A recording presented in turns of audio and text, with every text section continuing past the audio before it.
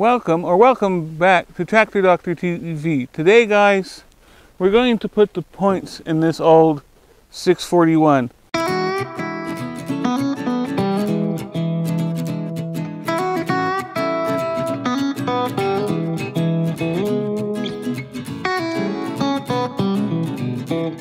So before we get started, I want to give you guys a little bit of a back history on this on this thing. This thing, as some of my followers know, this thing drives me bananas.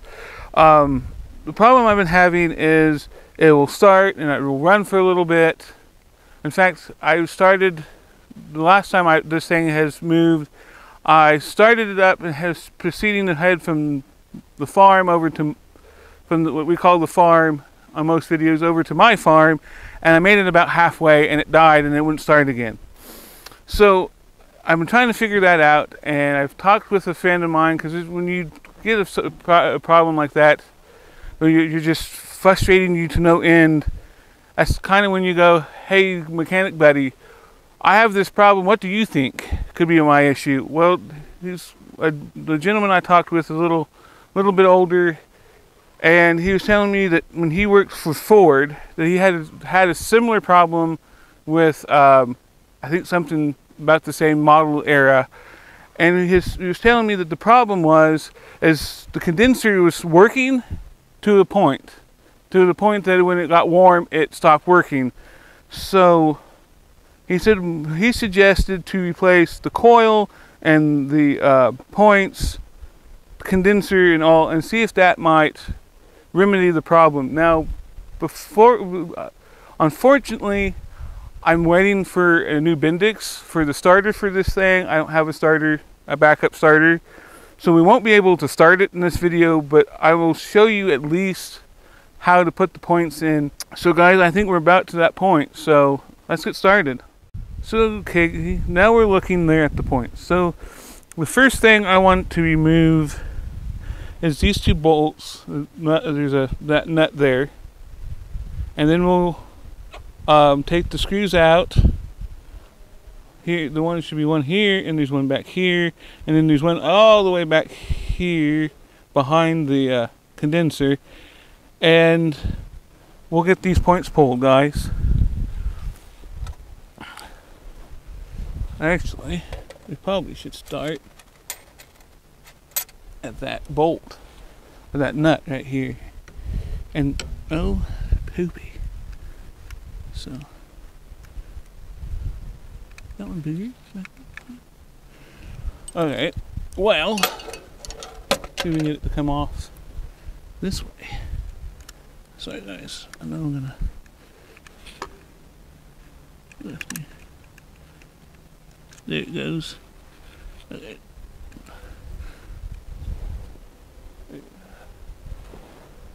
That there's the wire for the condenser. And then continue to remove that nut. Remove that, which looks like somebody has repaired in the past. There's that. I like to screw that on. While we're working on taking this off, guys, I want to give you a really quick little tip when you go to work and go get the new points, take them out and take them with you to Orscheln's or TSC or even into the house if you're going to go order them through somewhere like Steiner. Oh,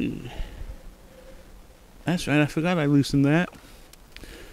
So, and that screws out and don't let it fall. Alright.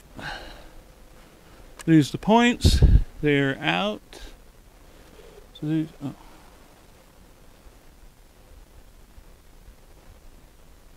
These, these are points right here. So the next thing you do, and this one's actually going to be the easiest. This is the easiest one I've, one of the easier ones I've done. I like to grab the the condenser because there's that screw right there on the end, and they're easy to be lost. And it looks like Ford has planned for that because there's screws right here to pull that off. And I may, somebody may, hey, you know, you can take that plate off, right?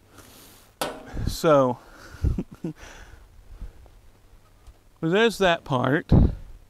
We're almost done, guys, actually. Now, I got my kit. I went, we, Crazy D, my, my uh, brother, and I went over to, um, I get it, you guys can see what's all here. So, you can see there's a rotor and condenser. Uh, my hand's in the way. Sorry.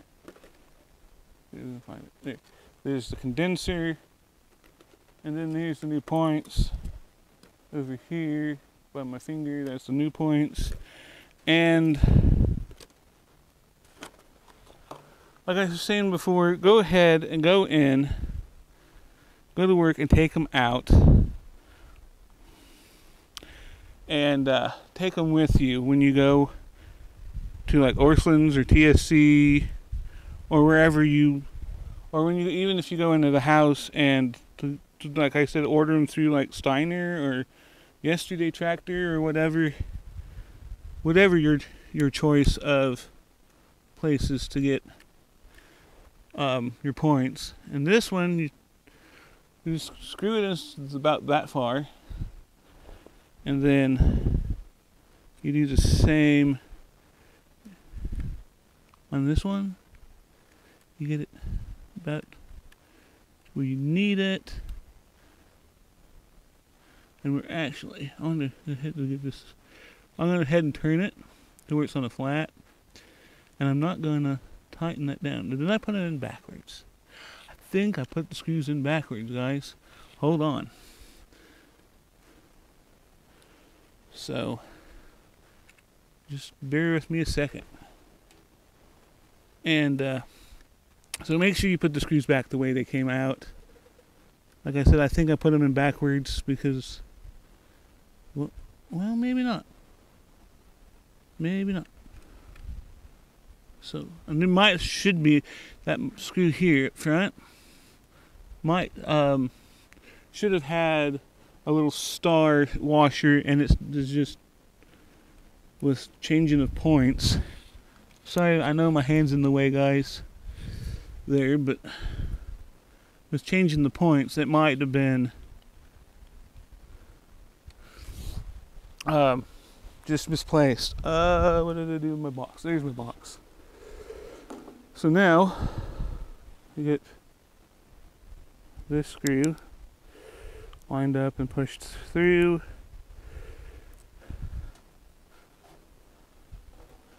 Sometimes if they're not, like this one is not connected, the uh, sleeve on here, see this, this, this, sleeve here, uh, here's the sleeve. The sleeve here's, when they're not connected, I like to sometimes reuse them just for the sheer fact that it's already formed to the uh, uh, shape. But I don't think I'm going to this run.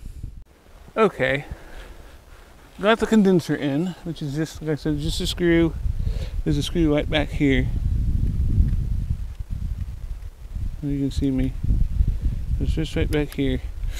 Um, now, guys, and this completely depends on your uh, points. And sometimes they come with this little tab, and it has the the, the um,